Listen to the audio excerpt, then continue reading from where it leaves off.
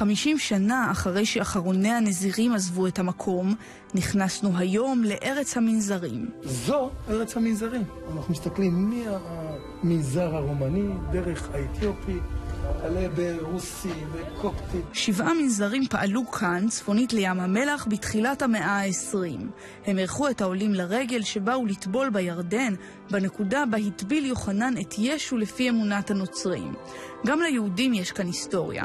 על פי המסורת זה המקום שבו חצו בני ישראל את נהר הירדן. השטח הקדוש לנוצרים זה... הם מאמינים שישוע הוטבל בנקודה ההיא שאתם רואים שם. ולכן החליטו שהמקום הזה קדוש, וכל זרם בדת הנוצרית הקים על המנזר. המעבר כאן קל, כמה מאות מטרים, ואתם בצד השני. את המעבר הנוח ניצלו המחבלים מירדן, הפדאיון.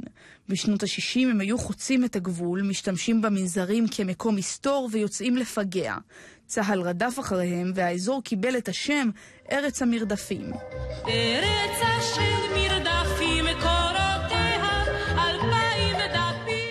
הפיגועים לאורך הגבולות, אנחנו רואים שישנם ניסיונות בלתי נלאים, כאשר ישנם פיגועים כאלה, להתגבר על הקו המכשול של צה"ל בגבולות. בסוף מפקד פיקוד המרכז דאז, רחבעם זאבי גנדי, ומפקד חטיבת הבקעה, רפאל איתן, רפול, החליטו למלכד את השטח והורו לפזר בו מוקשים נגד אדם וטנקים.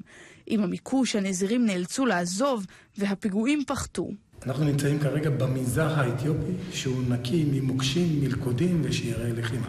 בחדר הזה עדיין ניתן לראות אה, שרידים וחפצים של אותם נזירים מהכנסייה האתיופית שחיו כאן, כדי שמן וחלב, בקבוקי יין, וגם מאחורינו מיטות שבעצם שימשו את אותם נזירים שחיו כאן במגורים, בחצר של הכנסייה האתיופית. אותם נזירים נאלצו לפנות את המקום הזה בשנות ה-60 בעקבות מתקפות המחבלים מירדן. בין הציר הזה אה, לגדת הירדן מפריד שדה מוקשים של נ"ט ומפריד שטח לחימה שעתיר בנפלים. בחודשים האחרונים פונו שלושת אלפים מוקשים משטח של כאלף דונם.